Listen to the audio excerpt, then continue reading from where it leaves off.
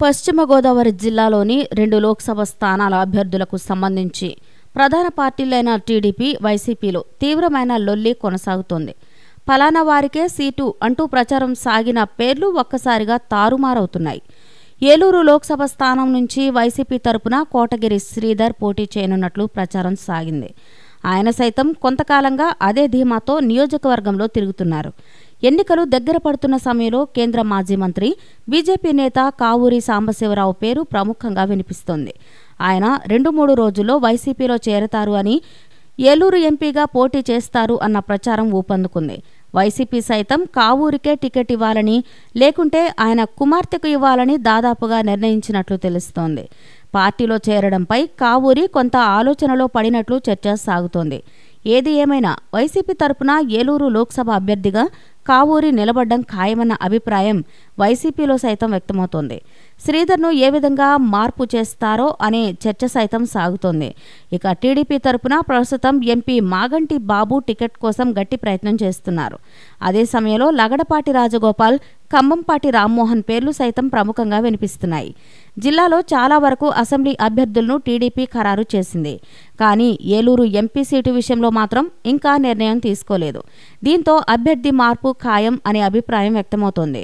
అదే సమయంలో మాగంటి బాబు కైకలూరు నుంచి అసెంబ్లీ అభ్యర్థిగా పోటీకి దిగుతారు అన్న చర్చ సైతం సాగుతోంది. నరసాపురం లోక్సభ స్థానానికి టీడీపీ తరపున పోటీ చేస్తారు అనుకున్న కనుమూరి రఘురామకృష్ణంరాజు వైసీపీలో చేరడంతో అధికార పార్టీలో కొత్త చర్చ మొదలైంది. తోట సీతారామలక్ష్మి లేదా ఆమె కుటుంబ సభ్యుల్లో ఒకరికి సీటు ఇస్తారని లేకపోతే కొత్తపల్లి సుబ్బారాయుడికి సీటు ఇస్తారని ప్రచారం సాగుతోంది. అదే సమయంలో బీజేపీ ఎంపీ గోకరాజు రంగరాజు బంధువుకు సీటు ఇవ్వనున్నట్లు చర్చ వినిపిస్తోంది. లోక్సభ అభ్యర్థులపై ప్రధాన పార్టీలో స్పష్టత లేకపోవడంతో రోజుకో రకంగా రాజకీయ చర్చలు సాగుతున్నాయి. దీనిపై ఒకటి రెండు రోజుల్లో స్పష్టత వచ్చే అవకాశం ఉందని తెలుస్తోంది. అయితే ఏలూరు నుండి పోటీ చేయడానికి మాగంటి బాబు సుముఖంగా లేనట్టు తెలుస్తుంది. చంద్రబాబు ఖచ్చితంగా ఏలూరు నుండి పోటీ చేయమని చెప్పడంతో ఆయనపై వ్యతిరేకతతో మాగంటి బాబు ఉన్నట్టు తెలుస్తోంది. దానికి గాను ఎక్కడి నుండి పోటీ చేయాలి అనే ఆలోచనలో బాబు లేనట్టు తెలుస్తోంది.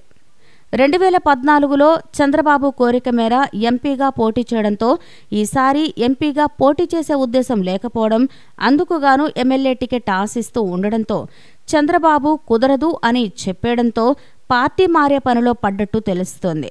అయితే ఇందుకు ప్రతికూలంగా వైఎస్ఆర్సీపీ పార్టీ నుండి పోటీ చేయాలని అక్కడ కావూరుని తప్పించి తనకు సీట్ కావాలని కోరడంతో అధినేత జగన్ అంగీకరించినట్టు తెలుస్తుంది.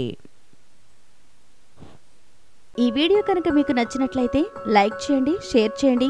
ఇలాంటి లేటెస్ట్ వీడియోస్ కోసం మా ఛానల్ని సబ్స్క్రైబ్ చేసుకోండి.